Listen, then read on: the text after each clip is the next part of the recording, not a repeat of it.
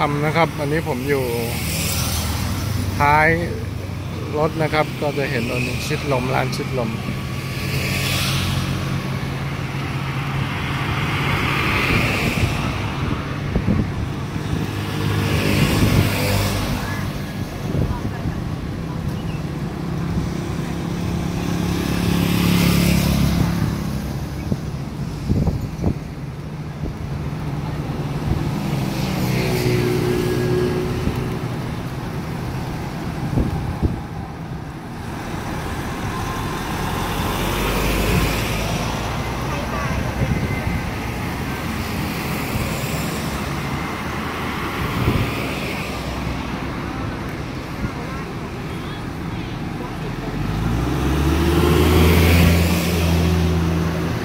อวัฒนธรรมนิทัศน์วัดศรีคมคำ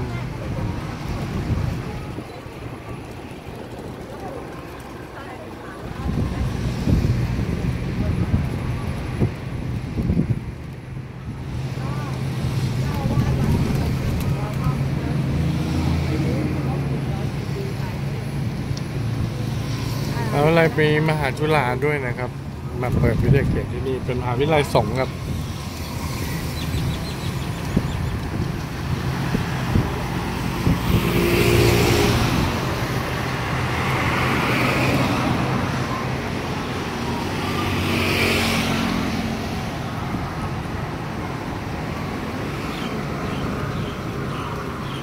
นี่ครับวัดศรีคมคำพระรามหลวงตำบลเวียงอำเภอเมืองจังหวัดพะเยาอ่าชาวบ้านเรียกพระเจ้าวัดพระเจ้าตนหลวงฝั่งนู้นมีลานจอดรถขายของที่ระลึกครับ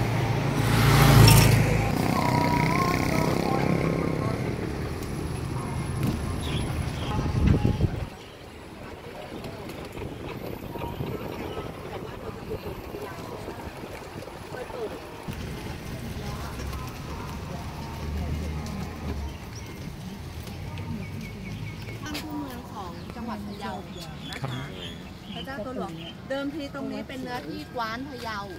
นะคะ แล้วก็อย่างที่บอกว่ามีนิทานปรำปราเกิดขึ้นมาที่ว่าอืมพญานาคท่าน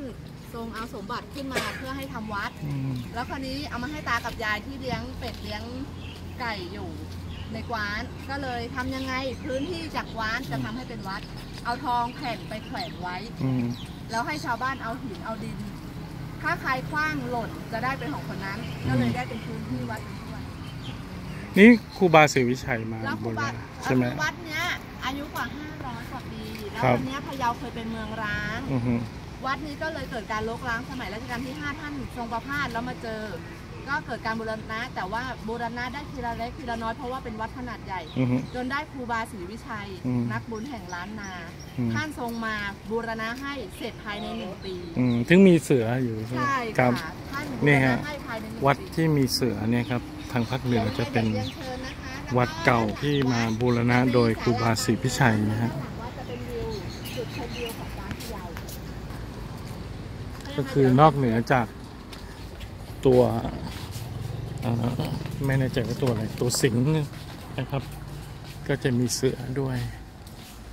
เป็นวิหาร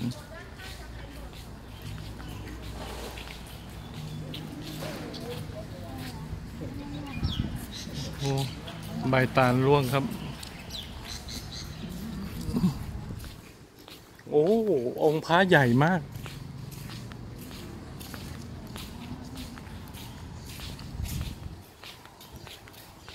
เมื่อกี้มองเขาเห็นข้างในครับ มีจารึกสองข้างนะครับ เป็นตัวล้านนาแล้วก็ตัวไทย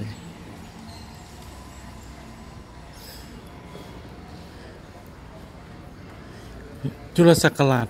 853 พุทธศักราช 2034 ปีล่วงใกล้ เดือน 8 ขึ้น 15 ค่ำเมง วันพุธไตเมืองเมา ยามกองงายได้ยกเสาอินทนินเสากระดูกสลังด้วย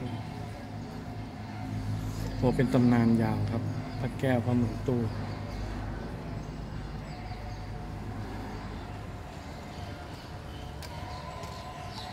โอ้โห องค์พระครับ ใหญ่มากครับ ระเจ้าตนหลวง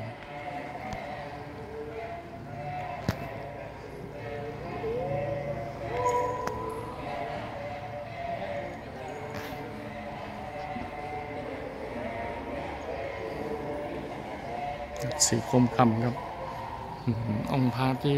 ยิ่งใหญ่ร่างการมากครับ ไม่แพ้หลวงพ่อองค์ใหญ่ ๆ ที่ภาคกลางเลยครับ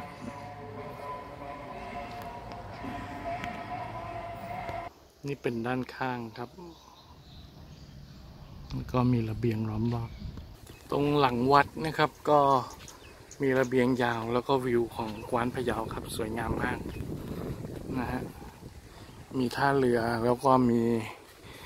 ด้านนู้นก็ดอยหลวงพะเยาครับ ดอยหลวงดอยหนอก สวยงามครับ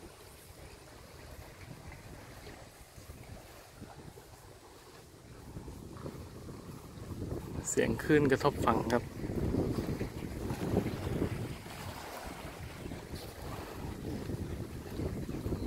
จิตใจอลังการครับ